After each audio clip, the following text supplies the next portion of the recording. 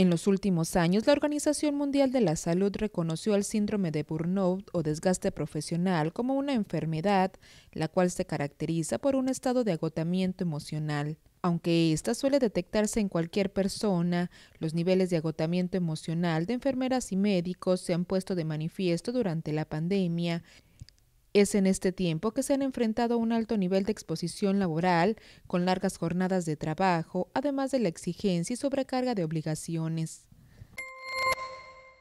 Cuando la persona no puede manejar el estrés emocional.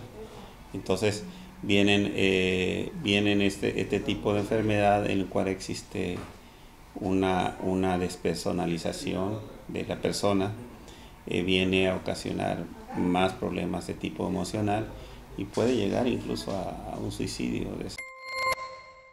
Algunos de los síntomas más comunes es el cambio en el estado de ánimo, falta de energía, menor rendimiento, dolor y rigidez muscular, así como problemas cardiovasculares, dolores de cabeza y mareos.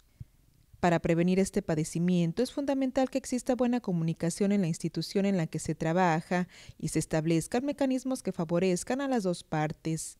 Las técnicas de relajación como la meditación o escuchar música relajante han demostrado ampliamente su eficacia para reducir la ansiedad y mejorar el modo en que los trabajadores se enfrentan a este síndrome. Para disminuir la tensión muscular es primordial realizar estiramientos y ejercicios antiestrés como parte de la rutina diaria e incluso como parte de la rutina laboral si es posible.